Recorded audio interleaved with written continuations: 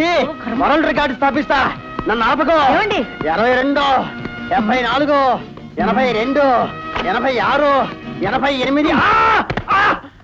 అబ్బా! బంగారం అంటే ఛాన్స్ మిస్ చేసావు కదే. రన్అట్ చేసావు ఏమిటి ఇప్పుడు చెప్పు.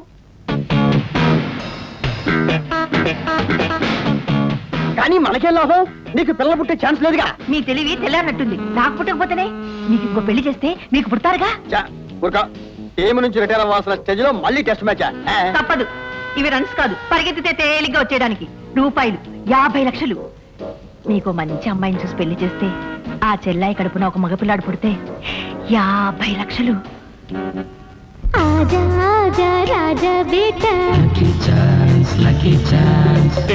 పంట.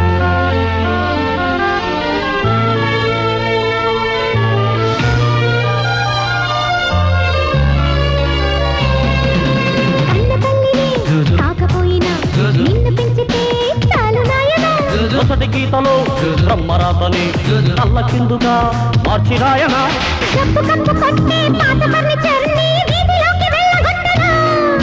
చిత్తు కాగితంగా ఉన్న జీవితాన్ని కొత్త నోటులాగా మార్చరా.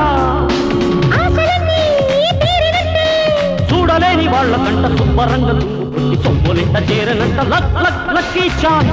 lucky chance, luck luck lucky chance. Hey, hey, hey, luck luck lucky chance. lucky chance. Luck luck lucky chance. Sir telegram. ఎవరికి? ఉమ్మా గారికి. సైన్ చేయండి.